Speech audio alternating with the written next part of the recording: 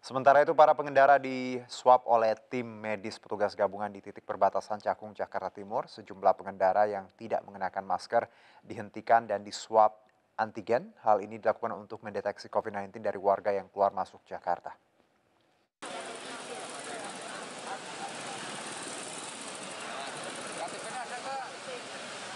Satu persatu pengendara yang tidak mengenakan masker dihentikan oleh petugas gabungan di titik perbatasan Jakarta Bekasi, tepatnya di Jalan Raya Bekasi, Cakung, Jakarta Timur.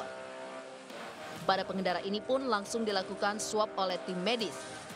Hal ini bertujuan untuk mendeteksi COVID-19 dari warga yang keluar masuk di wilayah Jakarta.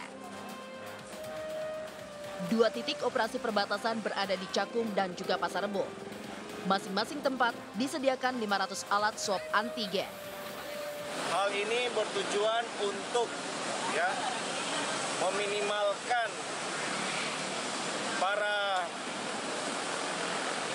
warga yang masuk ke Jakarta yang diduga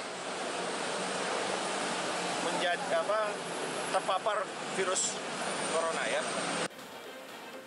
Sementara swab antigen di perbatasan masih akan terus dilakukan hingga terjadi penurunan yang signifikan dari penyebaran COVID-19 di Jakarta. Dari Jakarta, Rio Manik, iNews melaporkan.